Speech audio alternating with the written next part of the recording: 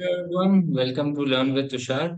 Today I'm going to take an interesting topic that is very debatable. I won't say debatable, everyone agrees, but still do not follow most of the time.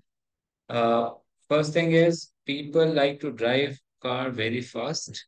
So here I am uh, trying to discuss mathematically why it, it should not be uh, viable, why it is not viable that one should be driving really fast because mathematically speaking, as you can see on the screen, I've done some calculation.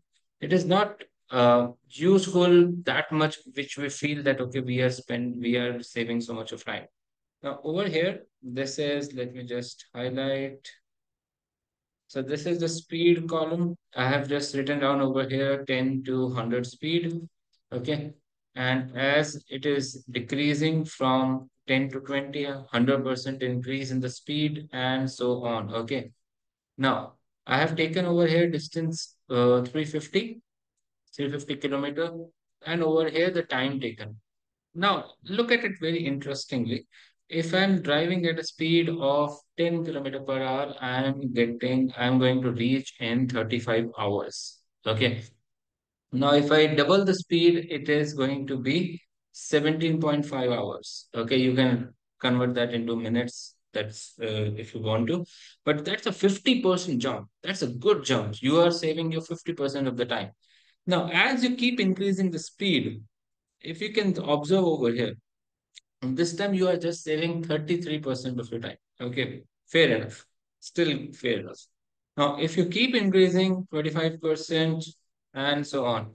Now, generally speed limits are around 60. Okay, that too on a higher end. And if, even if you are on highway, it's around 80. Now, from 80 to 90, if you are eager, okay, I want to increase my speed, Actually, there is not much change. It's only 11% change. Okay.